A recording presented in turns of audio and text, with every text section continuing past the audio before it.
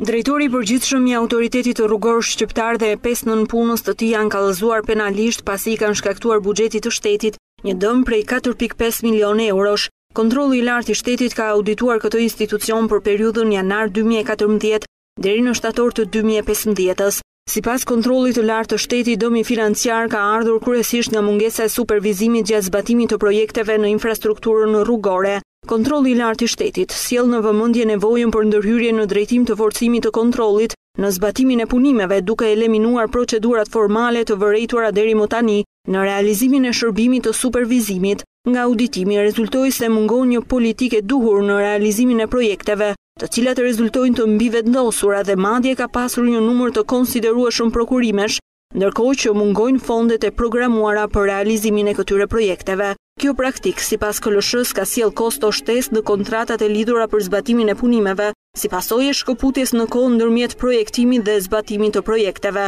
Disa shkelje të tjera të konstatuara nga Kontrolli i Lartë i Shtetit lidhen edhe me favorizim të qëllimshëm të subjekteve private të kontraktuara për ndërtimin e rrugës Bypass Plepa-Kavajë-Rrogozhinë, rritje artificiale e fondit limit në vlerën prej rreth njëqind milionë lekësh. Në përfundim të këtij auditimi KLSH ka adresuar të gjitha problematikat e konstatuara pranë kryetarit të Këshillit të Ministrave, duke i kërkuar njëkohësisht që të fillojë procedurat për dhënien e masës disiplinore, shkarkim nga detyra për Dashamir Xhikën, për shkak të shkeljeve të dispozitave ligjore e nënligjore në fuqi, sidomos në fushën e prokurimeve dhe zbatimin e kontratave të infrastrukturës rrugore.